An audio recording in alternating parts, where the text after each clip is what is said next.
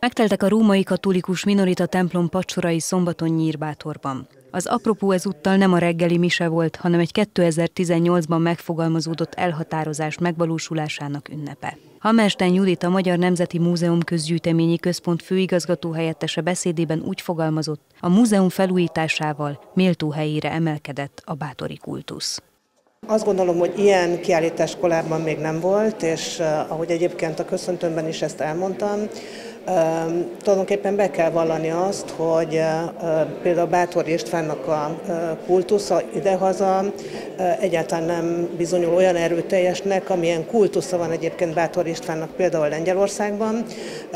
Óriási presztízse van a Bátori, Bátori familiának, hiszen pontosan tudjuk, hogy Bátor István, Bátor István Lengyelország királya volt, ahogy egyébként Litvániában is óriási kultusza van a Bátoriaknak, Bátor Istvánnak. Őt egyébként ugye, mint, mint litván nagyfejedelmként tartják számon.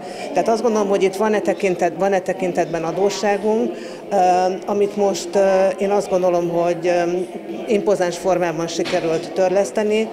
Simon Miklós, a térség országgyűlési képviselője mondandójában felhívta a figyelmet a térséget érintő fejlesztésekre, melyek csak nem 46 milliárd forint értékben valósultak meg a választókerületben. Több középület újult meg, bölcsődéket építettünk, utak újultak, meg kerékpárutak létesültek, és a mai nap pedig arról szól, hogy átadtuk itt Nyírbátorban a Bátor István Múzeumot. Tehát nem csak a gazdaság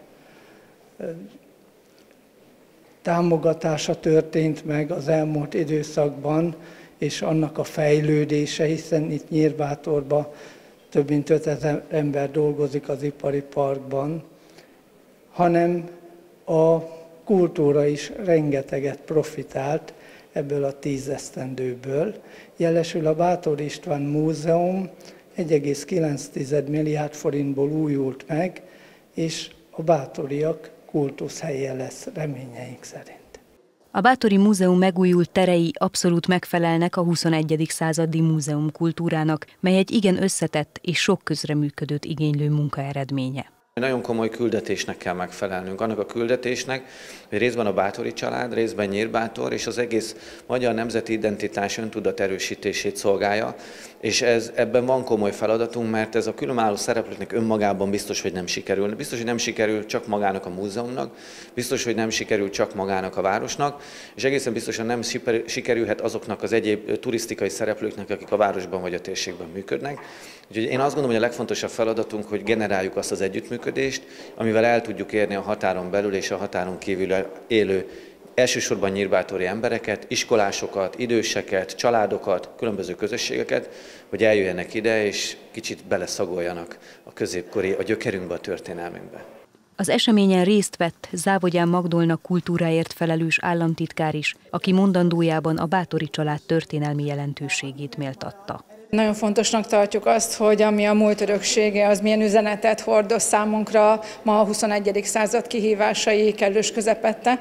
Mi azt gondoljuk, hogy a kultúra az egy kapaszkodó, maga a magyar történelem, az megmutatja azt az utat, amelyet, hogyha jól, em, jól emlékezünk és jól értelmezzük, akkor nem tévegünk a világban. A bátoriak öröksége az egy olyan kincs számunkra, amely nem csak a történelem folyamán adott maradandót és iránymutatót, hanem kultúránkban is is.